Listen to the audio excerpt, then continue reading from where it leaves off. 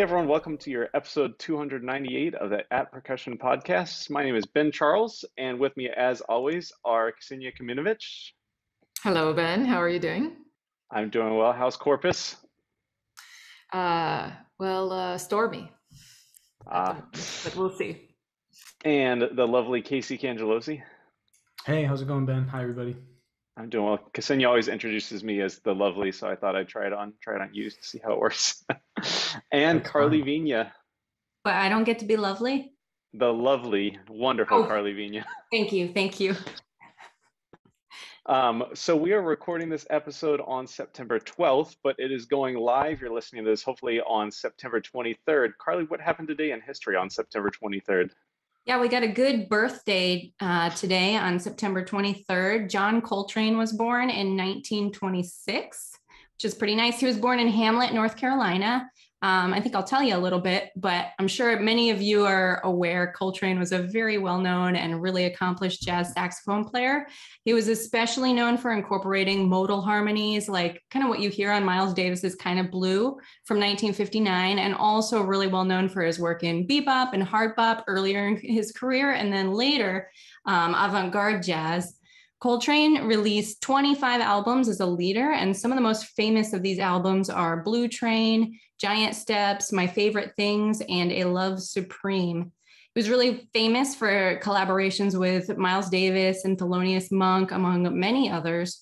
Um, and actually, Coltrane started playing with Miles Davis in 1955. And in case you ever need a reminder that as musicians, we are totally all prone to imposter syndrome, here's a quote from John Coltrane about his early work with Miles Davis.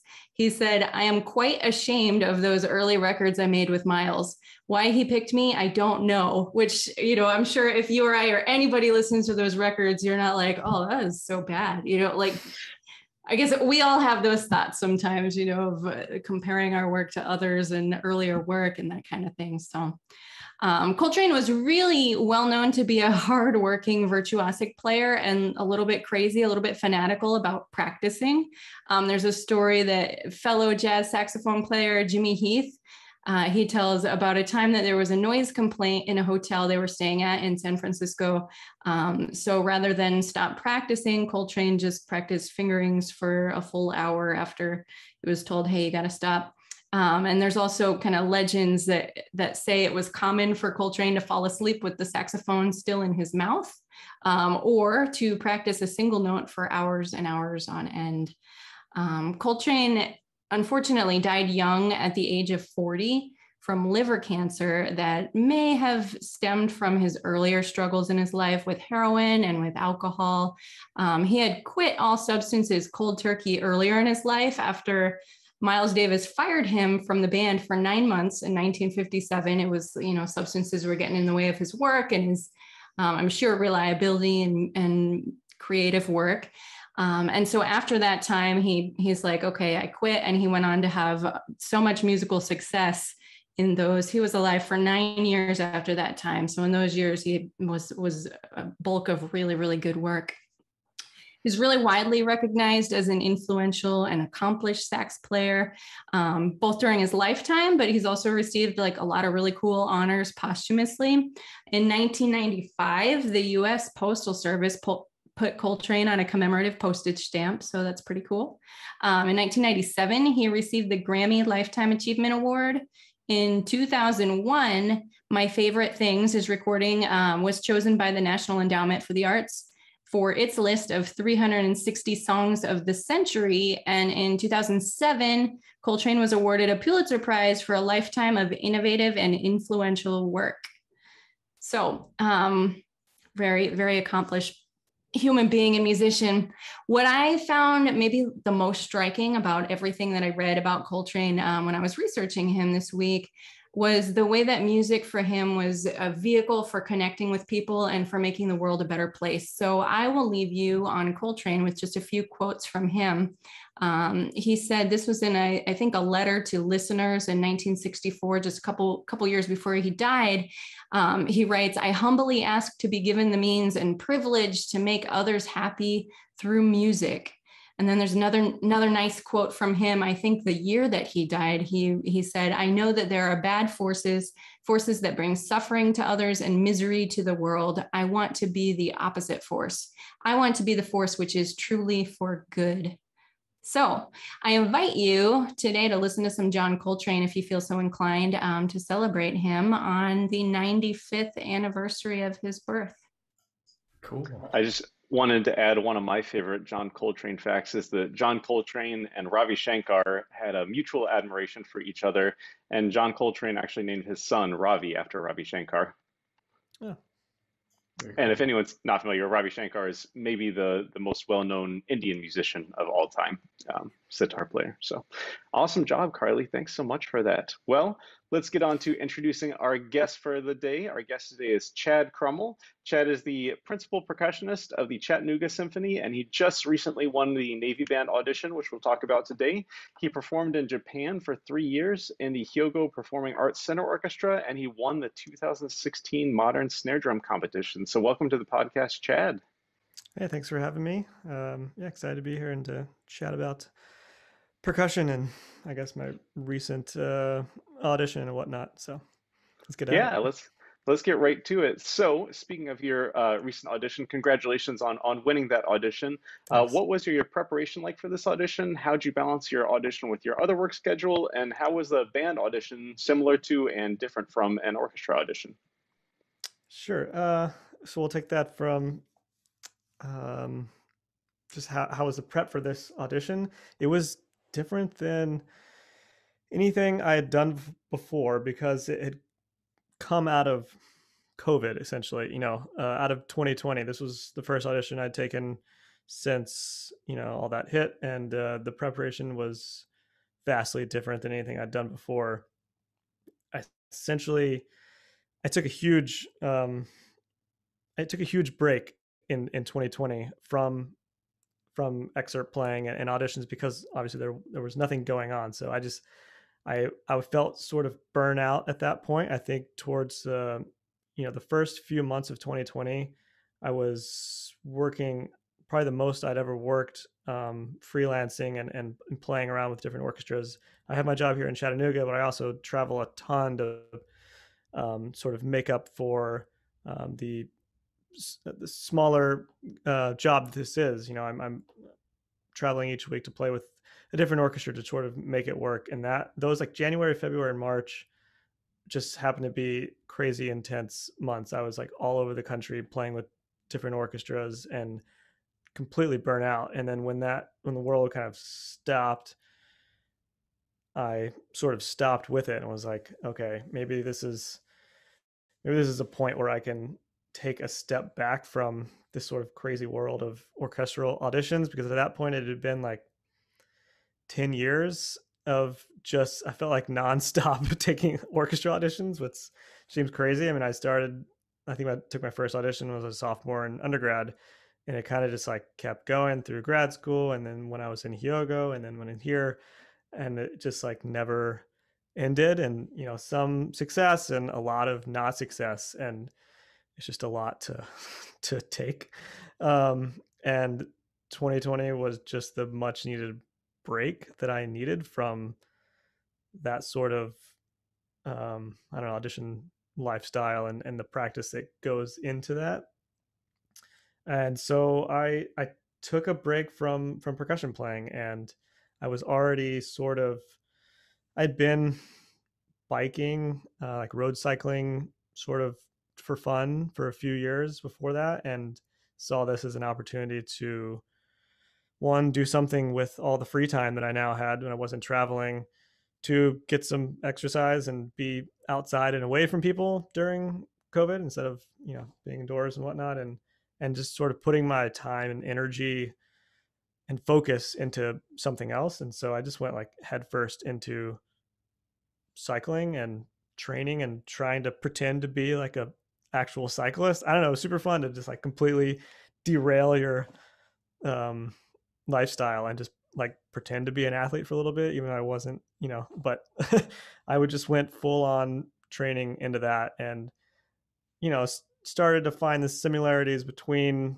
that sort of high end athletic training and you know and practicing and, and music and all the things that sort of cross over and um, you know one of my former teachers Ed Stephan had been a, uh, a really good uh, cyclist when he was sort of younger and i remember him telling me stories about sort of his the way that he prepped um, for races and and um, how that how he took that sort of success and then transferred it into his audition prep later on when he sort of went on the run after Fort Worth when he won Dallas and then Pittsburgh and then went on to win San Francisco. He sort of took that athlete mentality of preparation and building up this um, form and then you know executing it on the day of the race or the audition or whatever. And I remember him talking about that a long time ago, and it didn't really hit me the same way because I wasn't cycling at that point.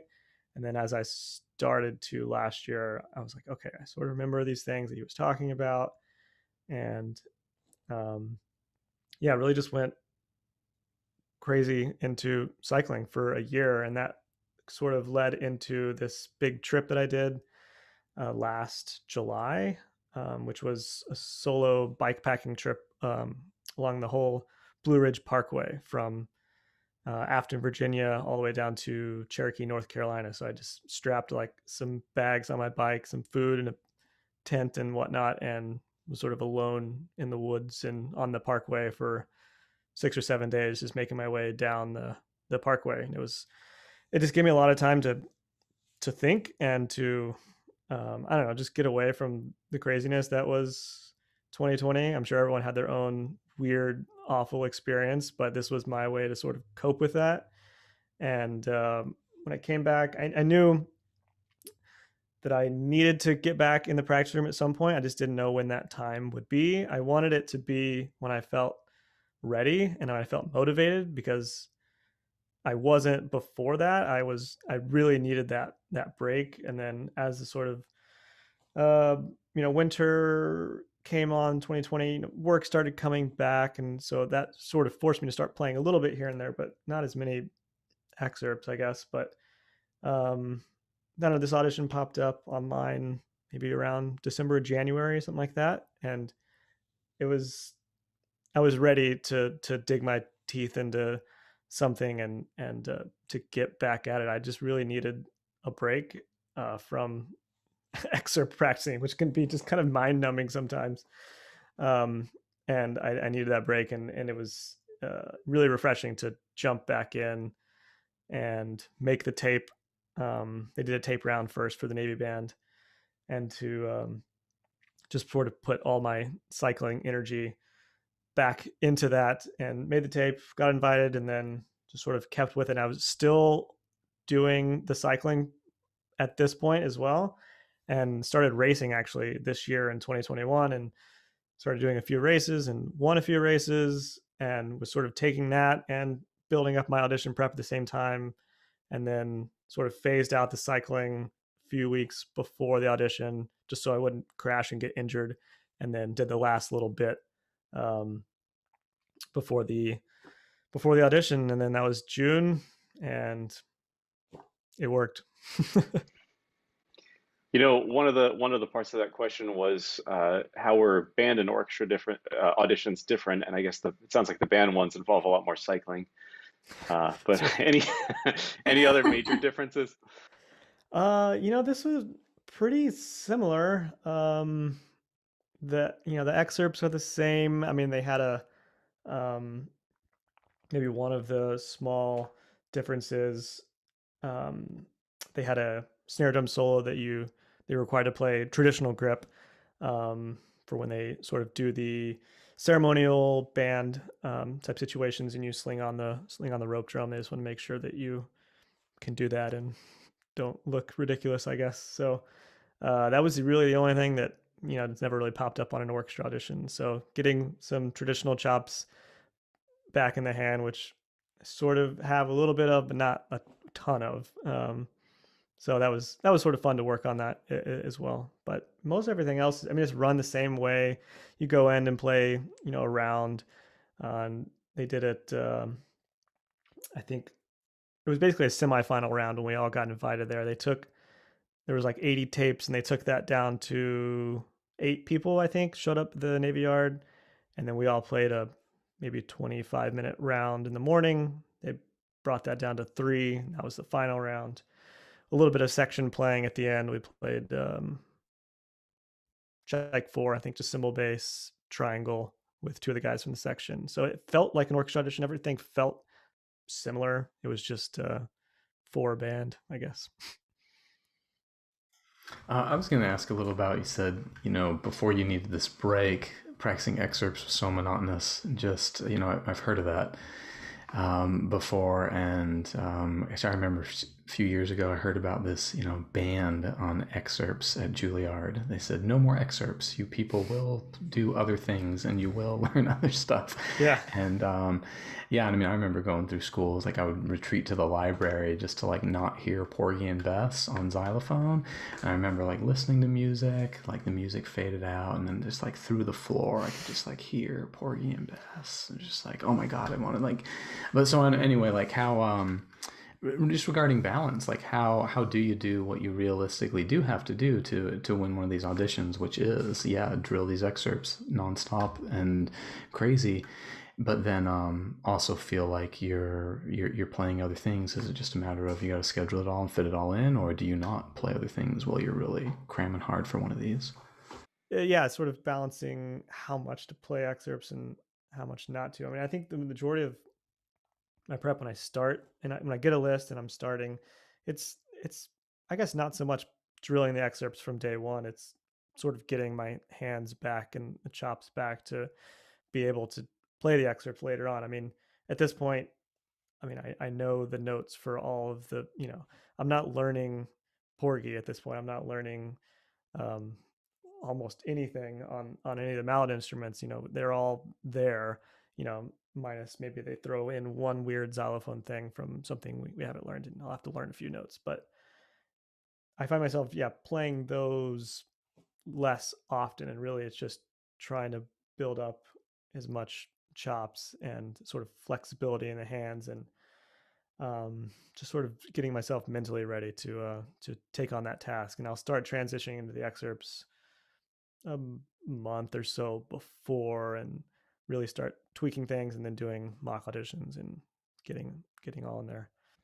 Well, Chad, I know this is sort of a, a cliche question, but highly successful musicians such as yourself it seems have good practice habits. And uh, we did a, a, practice special with a couple of uh, prominent practicers a, a, couple of episodes ago. But could you tell us about your practice habits, uh, both in terms of like how you schedule it, what kind of hours you're looking at, maybe historically when you were, when you were in school, and now that you're obviously out of school, um, as well as like how much time do you spend working on technique versus music and so on?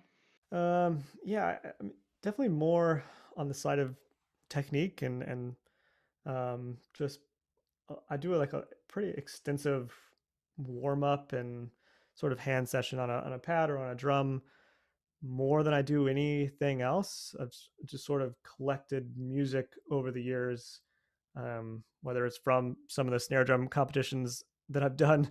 I think I played so many solos in those competitions that I just have like all this snare drum music, and I'll use that as sort of warm ups and and just stuff to play um, to get my hands ready to to to take on some of the excerpts.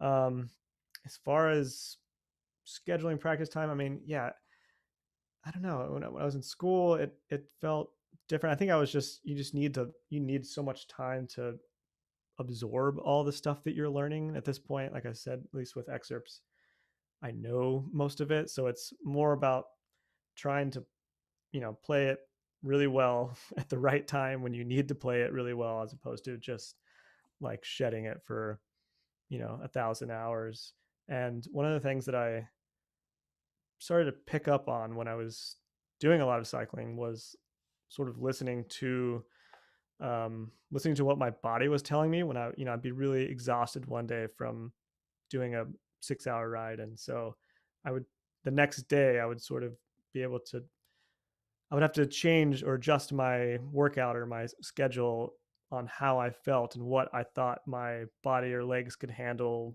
that day. And it started to happen a little bit in the practice room as well. I would be playing and and you know maybe my, my, my hands are tired and so it's something's harder than it should be it's not coming out right and so i would know when to sort of take a step back and say like okay there's no point in drilling this anymore like my hands are i'm just tired like i, I can i know i can play this on a good day there's no point in me sitting here and just making myself frustrated that i can't play it today right now i know i can do it tomorrow or whatever the case is so finding those moments and just finding something else in the practice room to do whether it's sort of mental practice or a completely different instrument or um, visualizing you know around or whatever the case may be if if my hands aren't there or i'm just low energy or whatever the case is just find something else to do and don't just sit there and drill something that's not working Chad, I hear I'm hearing so much wisdom in these couple of things that you're saying about practicing, like listen to your body that, you know, we're all guilty of not doing that enough. Um, but also understanding like there's so much more that needs to be done than just rep upon rep upon rep of the excerpts. Like if your hands aren't in shape, it's not going to come out. If they are in shape, it's much more likely to come out how you want it to be. So thanks for thanks for sharing those little nuggets of wisdom with us.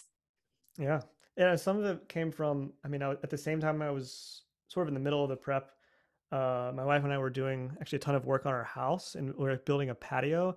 So a lot of that physical strain of like moving stuff with your hand, like shoveling stuff, it just killed you know your forearms, and your hands. And I try to come in and play something, and I'm like, okay, this is stupid. This isn't not today. Like, just come back tomorrow. What do, don't don't do this today. My uh, my students complained that on their placement auditions this semester, I made them play uh, Trepak on tambourine, and then go straight into Sorcerer's Apprentice on Glockenspiel. They thought that was mean. right. Yeah. That's a little mean. At least it's not crash cymbals. I find like Tchaik 4 would be worse. yeah, crash cymbals to soft snare drum sort of has that same effect. It's not fun. Well, Chad, prior to your time in, in Chattanooga, you performed in the Hyogo Performing Arts Center Orchestra in Japan. What was it like auditioning for a non American orchestra? And then once you got there, uh, what was the the Japanese cultural experience like? Uh, do you speak any Japanese? do you study Japanese beforehand? Uh, For our Japanese listeners, Nihongo ga dekimasu ka? I, yeah, I, I, I, I mean, I think I barely even knew about the audition before I took. I'd never heard of the orchestra. Um, actually, has anyone here heard of this this group, the Hyogo Performing Arts Center?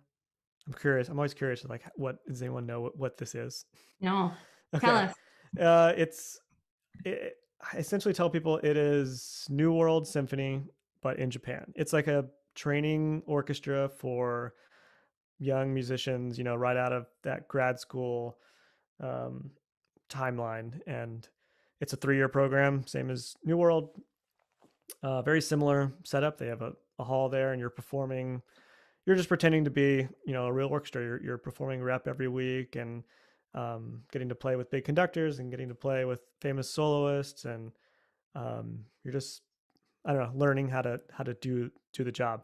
Uh, and I, I hadn't heard of it before. I, I knew of New World. I think I'd I'd taken that audition. I'd subbed there before, but I had a friend in grad school uh, or a roommate that told me about this Japanese uh, version of New World called Hyogo, and so I made a tape and um, got invited to a live round. They do. I don't. I, I. I guess they probably do it the same nowadays, but they do about six live rounds around the world. They they'll come to like Chicago, New York, London, Berlin, maybe Vienna, and like Tokyo or something like that. And they'll um, they'll go around and and hear, you know, however many people they they picked for uh, for those live rounds, and then yeah. So I, I ended up winning a position in this in this orchestra, and this was right after my first year of grad school at Carnegie Mellon. So I kind of put grad school on hold and was like, all right, I'm going to go do this um, this thing in Japan and and sort of see what happens. But I knew nothing about it beforehand, and I didn't know any Japanese.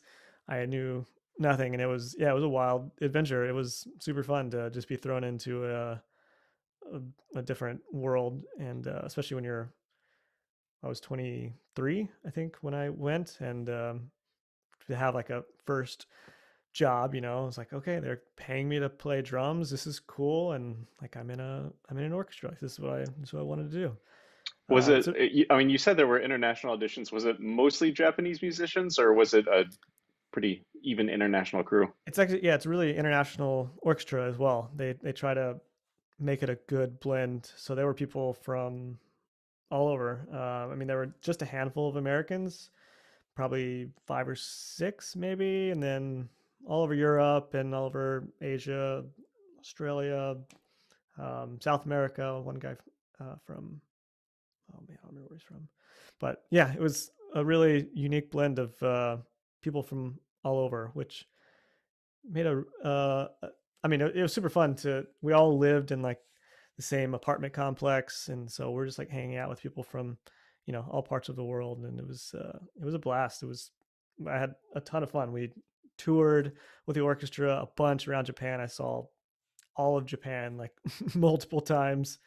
Um we did oh yeah a lot of really amazing concerts over there and uh it was yeah it was it was wild to be uh, thrown into something like that. I remember the um a funny story. The first night we like moved into our apartments we had been there for maybe three or four days at that point like staying in a hotel and we were they were getting us set up with everything we needed.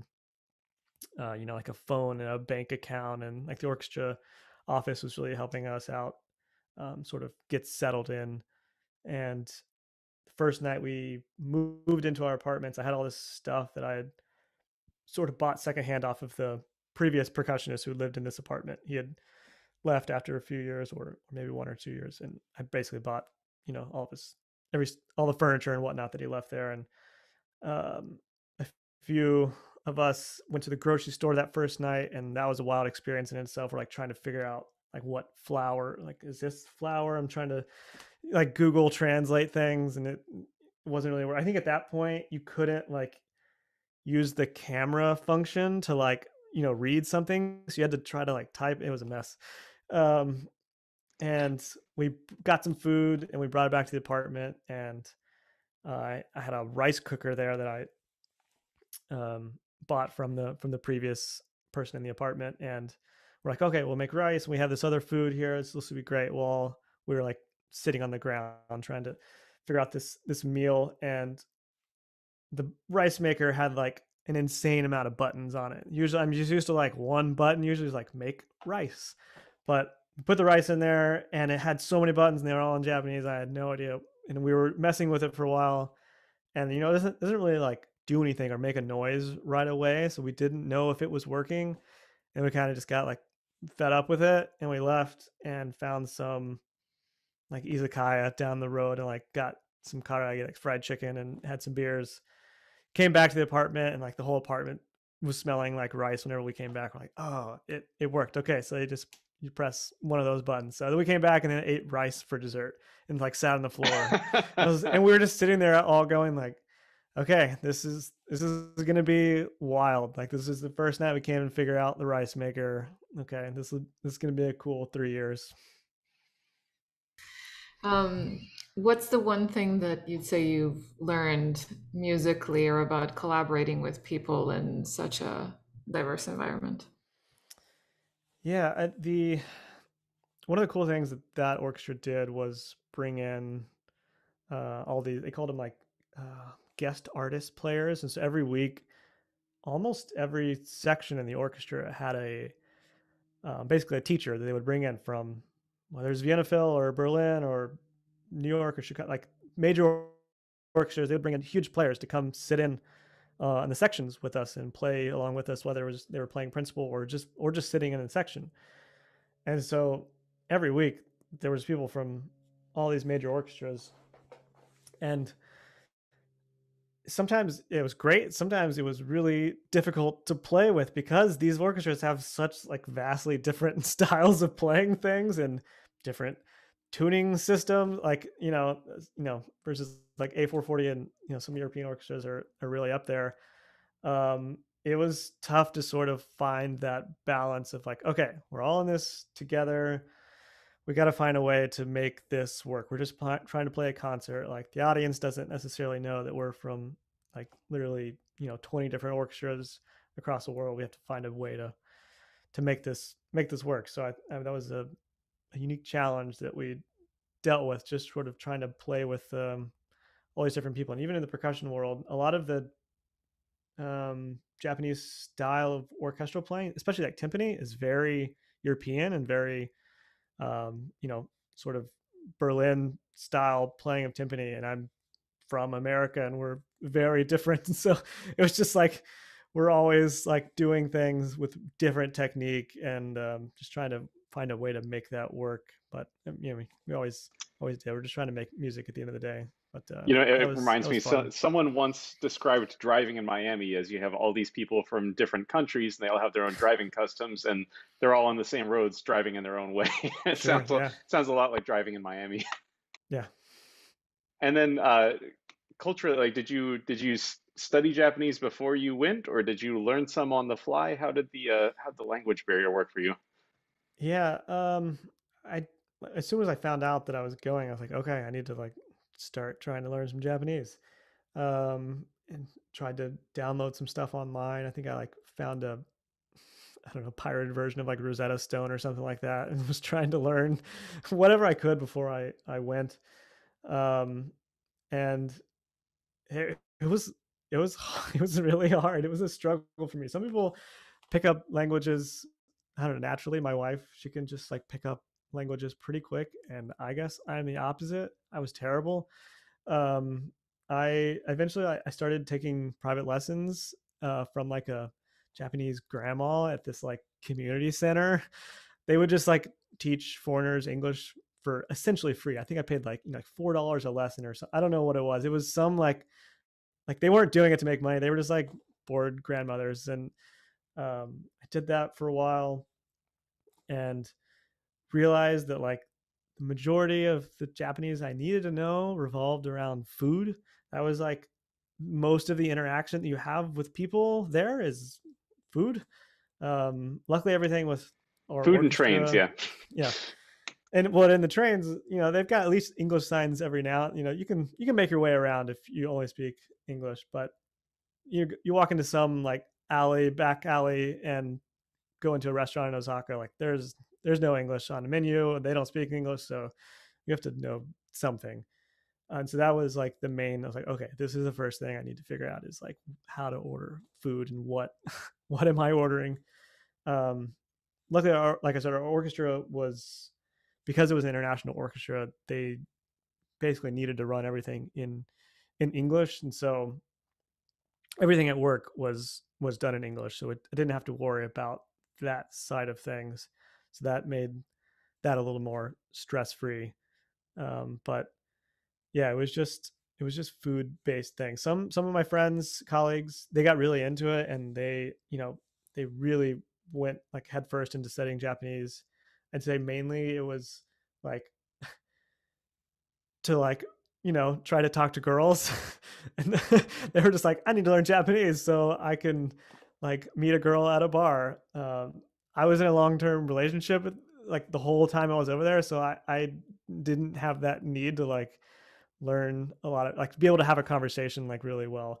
Um, so I don't know. I just had sort of different priorities than, than some people, but uh, and I always knew that I was coming back. I, I knew that it was like a three year thing, and I was gonna. My goal was to win a job when I was over there, and you know, come back. So I, it, it felt this like always tug of like, okay, how much, how many hours do I spend learning Japanese versus like, should I go practice? And I was sort of battling like, okay, the Japanese will be useful now, but like not necessarily later. I should probably practice more than than learning. But I don't know. I learned a little bit to to get around. But well, if it, if it makes it you feel better about quickly if it makes you feel better about the, the difficulty in picking out languages, I, I studied Japanese all through in high school. Uh, and I, am also very into food. And there was a Japanese exchange student. I was like, all right, this is awesome. I'm going to talk to this Japanese exchange student and I'm going to ask her, do you watch Iron Chef, which was a huge cooking show. But what I asked her instead was, do you eat Iron Chef? And I felt like an idiot. yeah. there were well, a lot of those uh, moments. Chad, I, I, spent quite a bit of time kind of poking through your history, and you won the modern snare drum competition in 2016. But I also noticed that you placed third in 2013 when I think Casey might have been a judge that year. And it seems like it's a common trend among our guests that we've had that have won competitions that they compete more than one year and maybe place third and come back a year or two later and, and win first place. Uh, so, what were your takeaways after the first time competing, and how did you apply them to your second time or whatever time that was that you won.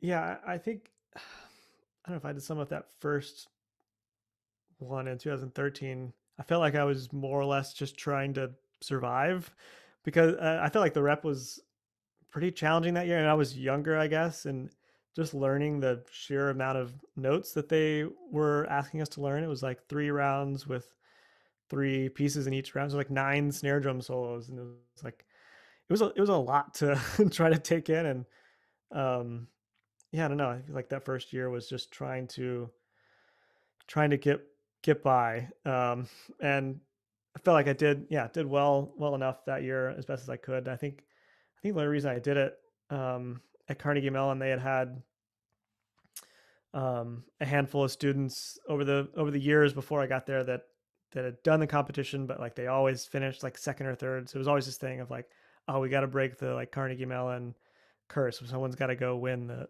win the thing. And so I went went that year, and um, yeah, in a place. I think I like tied for third. There was some. I don't remember exactly what happened. There was no winner. It was like a second and then two third places or something. Um, but I was happy to to do that. That was like the summer before I went to Japan, so I just needed kind of needed something to fill that summer, and it was uh was a nice change of pace to learn a bunch of snare drum notes. I think I did that and spent uh, a few weeks as an extra at, at, Tanglewood. They needed a bunch of percussionists for Reich Music for 18, and they were doing some huge opera at the same week. So there were like 20 percussionists at Tanglewood uh, for a span of two weeks. Um, so those are the sort of two things I did before I before I left. But yeah, I just remember leaving that competition and knowing I wanted to come back and try to do it again later, and it didn't really present itself until until 2016. I think at that point I was maybe near the age cutoff limit, so I was like, okay, I should I should do it this year before before I'm not allowed anymore. And um, I just remember, yeah, having it. Uh, I don't know, just a little bit different mentality going into it, and looking for ways to I don't know in those three years or whatever it was, sort of maturing as a player and like okay, I can play these notes now. This is like a sort of a strange competition. It's a snare drum competition. Like everyone kind of sounds similar. I don't know. It's like it's like a weird thing that we're doing here. How do I stand out and sort of separate myself from from a lot of the really great players that are going to be there? Um, and I just remember trying to look for certain things that would that would sort of separate me. One of the one of the things I came up with, I was uh, I don't know if I came up with it or it was someone else, I was playing for Mike Colligan, who, who's in the Cincinnati uh, Symphony. I think I think he was there at the time. I'd flown back to America. I was still in Japan at the time, but I, I came back to take a few auditions. Um, in sort of this span of a month. I was doing a Louisiana audition, also the Chattanooga audition that I ended up winning, and then like the next week was the snare drum competition. So I did that audition, won, and I was like, cool. And then the snare drum competition was the next week, and I was in Cincinnati and playing for for him, and we were trying to trying to uh, get this uh, rep ready, and there was a oh, man, I should have remembered the to, to look this up. There was a piece on one of the rounds that um, uh, it was it was a sort of a second line like New Orleans style um, snare drum piece. It was the the drummer for Wynton Marsalis. I can't remember his name right now, but he was commissioned to write a write a solo like they always do. They always sort of pick a, a composer or two to write a solo for the snare drum competition. I think he was. I'll look. Of, I'll look that up while you're talking. Sure, I think it was one of the the the, the guests that year, the composers that year that that wrote a solo for the competition, and um, you know, in terms of a classical like snare drum solo, it was like the most basic thing that you could imagine. Like I remember when I got the music, I was like, "Huh? like what Was what it is-" was it uh Tabletop Groove by Ali Jackson? Yeah, yeah, there you go. Okay. um i remember looking at it and being like okay like this is this is the piece. I have to find something to like do with this. Like this is uh, an opportunity to sort of um separate myself. And when i was playing for for Colligan we came up with this idea. We're like okay this is you know second line new orleans inspired like okay what can we do? Like it sounds really weird on a concert snare drum. Okay like can we can we get like an old drum set drum and you know tune it down a little bit loosen the snares let's get a different sound okay cool that's like one step all right that's better. I was like oh what if i like you know let's put like a really big tilt on the drum let me play it oh i'll play it traditional style okay let's get more um you know let's let's try to do what what what he's uh what he's writing for. And i was like you know what? I'm gonna i'm gonna strap it i'm gonna like find a cymbal strap and like strap it around and i was like i'll like walk around the stage and like marching around second line style and and play this i'll have to memorize it okay i'll do that. And i remember it was the i think it was the first thing on that second round and the few other people that gone before me i think they just kind of went out and played it on the drum that they brought which cool sounds great. Uh, and then like i went out there and and put my stuff at the round and then I, I left the stage and like strapped on the drum and like started playing off stage and like backstage and then like marched in and like around the stage and sort of did this whole presentation with it I can just see uh, everyone else going, "Oh, I should have done that." it was one of that like I felt goofy at the time for sure, but I was also like like this is this is what we're doing. I don't know, we're at a snare drum competition. Like I gotta do something. Like let's let's have fun. And um yeah, I remember one of the judges was like, Yeah, that was great. Like thank you for for doing something. That was that was good. So just finding little little moments like that and uh trying to separate yourself on a snare drum solo. Well, one of the pieces from that competition, not 2016, but I can't remember what the year was, but was Andy Akiho's Stop Speaking, which I know Karli plays and has recorded recently. And it's one of my favorite snare drum pieces. I also play it. And you have a wonderful recording of it. And uh, I often, when I hear recordings of this, I'm kind of like, that's, that's not what the score says to do. uh, but it, it's it's a just a spot on recording. And especially your, your finger rolls are maybe the best snare drum finger rolls I've ever heard. So can you tell us about Oh, that really? piece? Uh, well, funny enough, I think I I used it in that snare drum competition that year. We had a like choose your own solo in the final round, and I had already I just played that um, for a recital that I did in Japan, where it was sort of all percussion music with elec electronics, and so that was sort of I was in my hands, and I was like, this this will be good. I know they've used it before in the competition. I was like, this will be a good um, sort of final round piece. Um, yeah, that, that piece is super cool. It's um every time I play it for someone, especially like a non percussionist or a non musician, they're just like, what is happening? You know, they just they they think it's the coolest thing ever. And I and credit to Akiho, like it's really inventive and and creative um, of what he did there. And a lot of the music that he's he's been writing is is incredible. Um yeah that that the opportunity to record it came from from that competition uh i think pearl had been you know the sponsoring the competition and and sort of reached out at some point after that and said hey do you want to come make a video come play stop speaking from the you know from your final round and we'll show off the the drum that they they gave me and whatnot and um so that was a that was a really neat opportunity to go over to nashville and uh, get set up in their studio and, and sort of make a recording of that piece. I think it's um yeah, it's a it's an awesome piece to play. I'm glad the thumb roll for some reason I have this weird memory in my head that the thumb rolls weren't great. I don't know. So I'm glad that they they came off. Uh, Oh, Karli, I, Karli, you did like the Grover tambourine ring thing, Yeah, right? yeah. Yeah, Yeah, I, that's- used the roll ring. Like I, I cut it, I cut it in half. So I had like half just on the left side. Um, but Sure. Chad, what's your what's your secret for the thumb roll on the snare drum? I found it super challenging. Oh man, I don't know. I mean, I think uh just having a, I mean, I was like a, a textured head. Uh, I think I just had like an M5 on there, uh, and I think I was doing probably thumb rolls. I don't know. I have like a really good hitchhiker's thumb here, so it's great for tambourine rolls. I can just like just like plop it on there and push, and it just sort of stays put. So it worked relatively easily on the on the snare drum. I would kind of just lock it in place and go. Um, yeah, I don't know. So jealous. One, one great, yeah, it's a good, it's a good thumb roll. Right. Uh, thumb. You're probably one of those people that can play thumb rolls on tambourine with no wax or anything. Usually, yeah. Yeah. I am not. I was I was super happy. Like I was fighting with like beeswax on the snare drum head. It's like this is not working. And then I thought of the roll ring and it's like works great. It's surefire. It's gonna work every go. time. That's a good you just, yeah. you have to be careful with how many, you know, how many times you run that section. Right. Yeah, I remember like wearing down some of the coated texture on the drum and it was like getting harder and harder to pull off and i was like oh no I, okay i should change the head. And then you get a head that's like really textured and like you like you know tear off your thumbprint and you're like okay there's got to be like a middle ground here.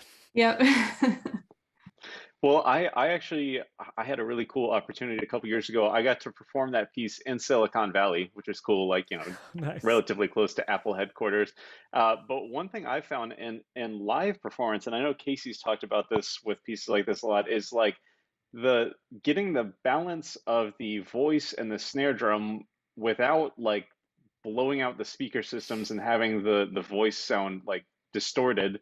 Uh, and I, I don't know. It's not really. I don't think too much of the player's choice as to what hall they're performing at or whatever. But have you had any any luck with figuring out ways to get around that? Oh man, I the let's see. I don't really remember how it was even set up during the competition.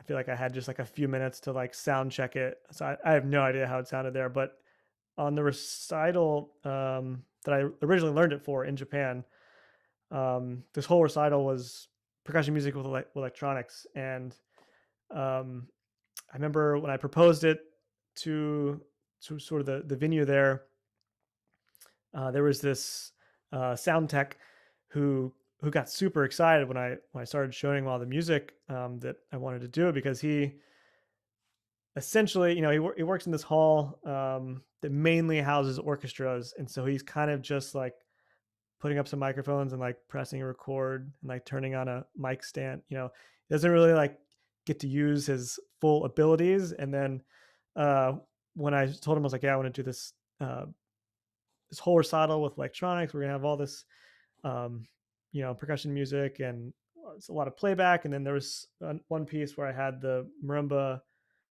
mic'd and it was running through a sort of delayed system, and it would and it would I would sort of play back and forth off of. Is that, that the uh, Nigel Westlake? Uh, it's not Nigel. It was it was called Zoo um, by a it's just from a Japanese composer. I found it on YouTube when I was living over there.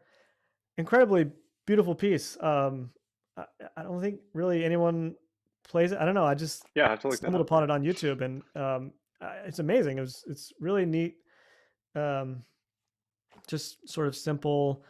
Um, marimba solo you have it you have it mic'd and it's run through i can't remember the exact like milliseconds that you need to program it to for the delay but it turns it to where it's like uh every it's you hear the echo every like dotted quarter note or something like that. So as you're playing all these nice runs you're hearing all this reverb feedback from previous notes and whatnot and you're playing playing against that. Um and i was showing him all this this stuff i was doing and he was super pumped to to like bring out all these incredible like s- spherical speakers and he like got the whole it was a sort of a it was a stage where there's like 360 seating and so he really wanted to have like the audience experience this in like the best way possible. So you he had like this incredible plan of um, putting these speakers around the stage and he had like hooked me up with i had these mics like running through my shirt because I was playing um, the maraca solo Temazcal, yeah. yeah. And so he wanted to like pick up the the maracas a little bit better. So I had all these like mics like running, and he would like clip them on my shirt. There were so many wires everywhere, but he did an amazing job finding the balance, you know, for all these pieces that I was playing. Um, there was the Sothis one study one summary, uh, that and and a few other things. And um, yeah, I don't know, he nailed it because the recording sounds awesome. He he he like totally nailed the balance. I have no idea what he did. I'm not really a like a techie person in terms of um, you know everything that he was he was doing, but he nailed it. It was good. Yeah, and and full recital of percussion plus electronics sounds like a nightmare. So good for you for going for it, and good for him for for figuring it out. I, yeah, luckily I just like gave all the piece is enough electronic stuff me. to him, and he Yeah. he figured it out. I just had to worry about playing. Well, Chad, I had one other question before we wrap. Uh, I was poking around on your website and I found that you performed James Mi- MacMillan's percussion concerto, Veni Veni Emmanuel, and no one ever performs this piece. Um, I got to see Evelyn Glennie perform it in 2009 at the Krannert Center in Illinois uh, with the, I think, Sao Paulo Symphony Orchestra. Um, and it, it's a piece with such amazing colors. There's this bit with chimes at the end that I'll, I'll let you tell us about. Uh, but tell us about your your experience with it, your performance, and maybe why you think it's underplayed versus like the Schwantner concerto. Sure. Um, And Ksenija chimed in and said it's actually pretty popular in Europe, so maybe it's just us dumb Americans. I was gonna say, yeah. Actually, I feel like it's it is popular in Europe. At least, you know, I feel like Colin Currie's he's doing a good job of uh, getting the getting the performances in over there. Um, yeah, uh, I, I actually that was the first time I heard it was was Colin playing it in Pittsburgh, I think, uh, when I was studying there, and yeah, I just remember being it was the first time I was sort of excited about a percussion concerto. I don't normally like a lot of them. I don't know, they just don't really do it for me. and the first time I was like, hey, like I can I can kind of get behind this one. Like, okay, like I I, I see I see what we're trying to do here. Uh, and when I started the job here in Chattanooga, conductor Kayoko Dan sort of took me out and she was like, Do you want to do a concerto? And I was like, Okay, never really thought about it before, but yeah, let's do it. She asked what I wanted to do, and I knew of a few. I know the Schwantner and what else, was like, give me give me some time to sort of do some research. I've not I don't really I don't know, this isn't my uh this isn't my bag. I don't do a lot of concertos. Let me like let me see what's out there. I don't really know at this point what is what's new and what composers are doing what. So I just tried to dive into what's out there and I just kept coming back to the um MacMillan and uh Veni Emmanuel. Something about uh, yeah, I think you said the the colors, all the textures, it it um I don't know. Yeah, something did it for me. I love the the sort of form and the shape of it. I love how there's no movements necessarily. It can be sort of broken into you know five sections, but it's kind of just 30 minutes of nonstop um, music. You know, I love the especially the middle section with the um, the marimba sort of cadenza over the top of um, you know this this chorale building in the in the winds and the strings. I love the idea of those two things sort of going back and forth with you know the marimba thing is pretty much you know out of time and sort of your own little cadenza section, but on top of this beautiful harmony that's starting to swell and pick up. Um, and then it it erupts into this uh, at the very end, um, this incredible moment that you sort of like a I don't know the first time I saw it, it felt like a it felt like a magic trick, like the ending Yes. because you don't you don't or at least as a, an audience member i didn't see you know all of the little like metal chimes that every musician in the orchestra had like on their stand you're supposed to give you know everyone in the orchestra these little and everyone sort of makes it their own way whether it's like two little pieces of metal they hit you know i think we like suspended some like kind of thick washers on some fishing line and gave everyone like little I don't know triangle beaters to hit it with. I can't remember exactly what we did, but essentially everyone in the orchestra has these little metal pieces to clang at the end at this like huge burst and eruption. And yeah, the first time you see it, if you don't know what's coming, it's it's awesome. It's like an incredible surprise. It's, it overwhelms you with like all of these sparkly, shimmery, um, you know, pieces of metal, like just all over the orchestra. And as it sort of has this two or three minute long decrescendo fade down uh, and you're playing some some chime notes uh, at the very end. It um, I don't know. I loved I loved that. I guess I don't know. I called it a magic trick. It felt like a magic the first time I watched it. It was it was unexpected and that was well, nice. I was going to say like it it's in a sense it's sort of a gimmick. Uh, it's but like yeah. in in a piece that good, it doesn't come across as like campy or like a gimmick. It's it's yeah, it's it's a magic trick. It's a, it's an actual artistic thing at the end of the piece. But I, I, I just I love when a piece has some little bow at the end of it that just ties it all up like that was completely unexpected like that. Um, Yeah, so my- as far as like endings for a piece, I mean, you know, could have ended a few minutes earlier at the big drummy drummy section and digga digga digga da. You know, it could have ended with some bongo lick into a cymbal crash, you know, but it didn't, and that was nice. Yeah. I think my my favorite ending to a piece of music of all time is the have you guys seen the Andy Akiho uh Ricochet concerto? The the ping pong The ping concerto and pong, it ends yeah, with dumping these giant buckets of ping pong balls all over the stage. right. Uh, must be terrible to be on stage crew for that. yeah, just a little bit of unexpected um I don't know, pageantry. It was it was nice. Well, Chad, thank you so much for your time today. Before we wrap up, is there anything else you'd like to tell us about? Any upcoming projects you might have? Yeah, in um, I think on the twenty third, which is a few days before I leave to go to Navy basic training for my job, um, I'm giving a, a class on the uh, Percussion Conservatory uh, Facebook page on sort of snare drum practice tips, techniques. Uh, I'm going to be going over sort of warm up session and how I build um, uh, warm up into my my daily daily snare drum practice. So if you're interested, come check that out.